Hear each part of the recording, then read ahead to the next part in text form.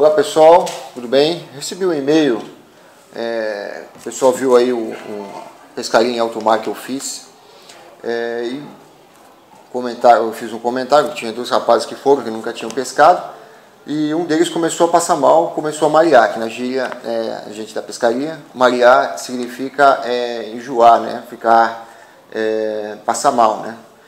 É, então perguntaram o que, que pode fazer para evitar o enjoo. Tá? Olha, o que eu posso dizer para você fazer, vocês puderem fazer, se for pescar em alto mar, é no dia anterior, na hora que for dormir, for jantar, evitar de comer comida pesada, tá gente? Faz uma comida leve ou faz um lanche que seja, né? Mas com coisa leve, tá? É, segundo, é, na pescaria você tem que se hidratar em muito, muita água. Evite bebida alcoólica, tá gente? Bebida alcoólica não é bom, tá?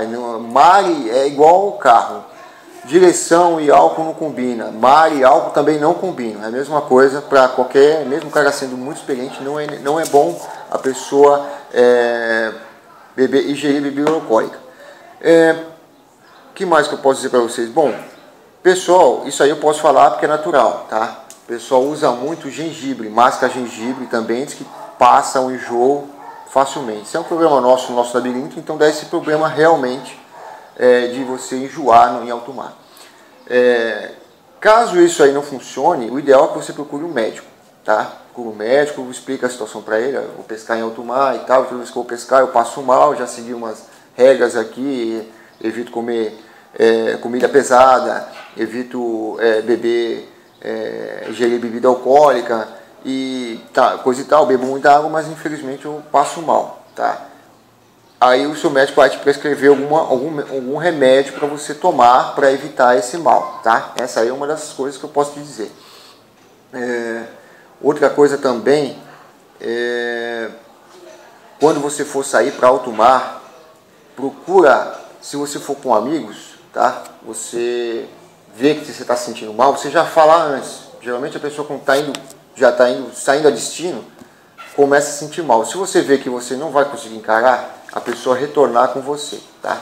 Mais uma dica, se você já estiver lá no meio da pescaria e começar a passar mal porque de repente a maré mudou, começou a saculejar demais o, o, o barco e na hora que você saiu não estava sentindo nada, a melhor coisa que você faz é se deitar, tá? Se você estiver no barco, pede licença para alguém, se deita um pouco, tá? Não é vergonha, tá, gente? Todo mundo, às vezes, todo mundo não, mas pelo menos uma boa parte do pessoal que vai para um alto mar acaba sentindo esse enjoo mesmo, tá?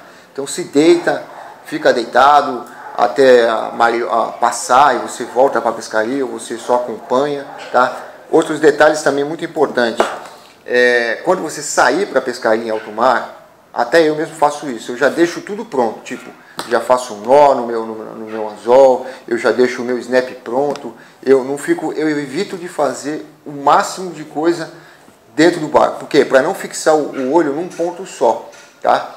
Então, se você vê que você não está legal, olha para o céu, olha para o mar. Nunca fique com a sua vista apontada diretamente para um lugar, ok? Então, seguindo essas regrinhas básicas aí, com certeza você vai se dar bem, ok?